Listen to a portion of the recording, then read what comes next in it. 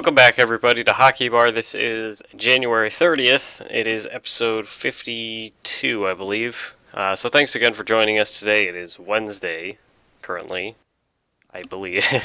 I don't know, I'm kind of thrown off right now. It's been very cold outside if, uh, for those of you that live in the north, uh, mid region of the U.S. You probably know it too. Um, so to get started, I want to talk about uh, Predators forward Austin Watson, who the Predators released a statement on yesterday that he is now going to be entering stage two of his uh, substance abuse program that the NHL has set up for players that are unfortunately caught up in a mess with that. So the Predators have said that there's no further comment uh, from here. So this is stage two of his uh, program. I couldn't think of it because it's not something you see often, you know. Uh, so originally, I guess over the off season, uh, he was charged with domestic abuse. I think it was against his wife.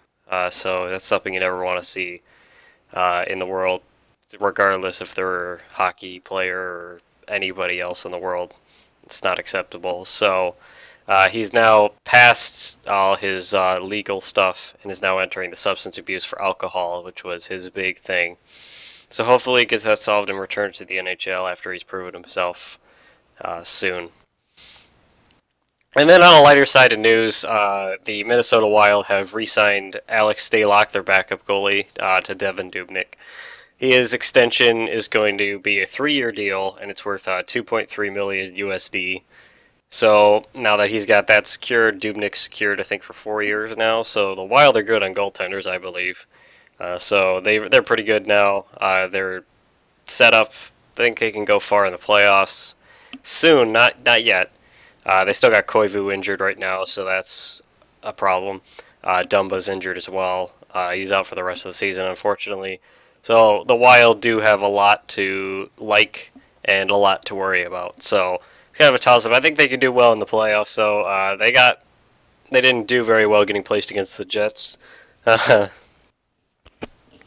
Jets uh, last last season, uh, but they might they might have it this year. Um, they might be able to get farther than the first round. Uh, they've had some trouble after that. Uh, I, th- I, don't think they've ever won uh, two rounds in a row in a playoff in franchise history. So maybe things can change. Uh, the West is kind of contested, so hopefully they end up doing better. I kind of like to see them do well because I think they're one of the better expansion teams out there. And now moving on is our game to watch. Uh, that'll be between the Lightning and the Penguins, and this is the Wednesday night hockey game of the day. So it's going to be an exciting one. It's uh, it's in PPG Paints Arena down in Pittsburgh. So to get started, obviously, as we all know, the Lightning are, if not the well, they, they are the best team in the NHL currently. I uh, can't be beat yet. Um, they got they're far ahead. Like I think they got a disparity of maybe 12 or 14 points between them and the Maple Leafs. So it's a bit of a struggle. And the Penguins are up there in the higher than Eastern Conference. They're near the top. Uh, if not leading the Metropolitan, they're up there. I think they're behind the Islanders and maybe the Capitals. Capitals have been on kind of a slump. Uh, Penguins are consistent, at least. Um, so they really want to figure out what's going wrong with the Penguins. So uh, now that Oleksiak is gone, uh, their defense is going to be a little scrambled. Probably now this is going to be their first game, so they're probably going to scramble the lines a little bit. Uh, Malkin hasn't been performing good. He's the lowest plus minus on the team. Um, and then obviously Crosby is up there. Uh, Guentzel's up there in points. Kessel. All three of those guys are pretty much their main scoring unit. So they need to probably push that more because the Lightning are just going to go offense, offense, offense, just because they got the ability to score. And the Penguins, they do too, but not as fast. So it's going to be a quick game. Um, it'll really be up to who gets the better offense uh, starting out. So you can't start slow against either of these teams. So probably going to be result of how fast a team can generate just off the start. So now going on, moving on to our last part. The stats update still hasn't changed uh, these past few days. So Kucherov still leading in points. He has 78 and assists. He has 56.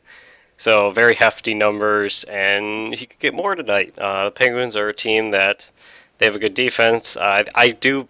This is controversial, but I believe their goaltending is kind of lackluster compared to what it used to be. I'm not going to say that Fleury carried that team because he didn't, uh, but he was a huge asset for him, and you see that with Vegas now, as we're going to get to in a minute, how big that was. Murray's a good goaltender. DeSmith is pretty good, but they're not premier goaltenders. They're not those goaltenders that stop everything, make a highlight every day, and pretend like everything's fine. Okay, they're very real and they're not premier and they're not great. They got good stats. They can get things done when they need to, but they're not at a caliber as some of the other teams in the league. So moving on past that, uh, the goaltender, not goaltender, my apologies, uh, goals leader is still Ovechkin. He's got 37, and he can get more. And then Giordano, along with a lot of flames, leading plus minus. He's leading with a plus 29 currently. And moving on to goalies, we have Robin Lehner of the Islanders, still doing good. Islanders haven't played, uh, returning from break. I think their first game is either tomorrow or Thursday, or uh, Friday, I mean, my bad. So he can probably keep it up. I mean, he's had a rest now, so if anything, uh, he might come back even stronger from the break. And then, obviously, as we were just talking about, Marc Andre Fleury still leading in wins and shutouts 27 wins, 6 shutouts. He's really been carrying Vegas.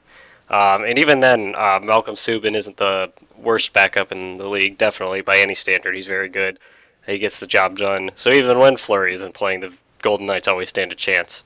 So that's really all I got to say for today. I want to thank you guys for tuning in today. I really appreciate it. Uh, if you if you're new to this, uh, do make sure you subscribe. And if you like the format, please tell us. Uh, we're trying something new recently, and it means a lot if we can hear your feedback. So if you're new, please do subscribe to not miss any updates in the world of hockey, as we do this every day. It's a daily thing. We really like doing it. So thank you guys for watching again, and we hope to see you in a future episode. Take care.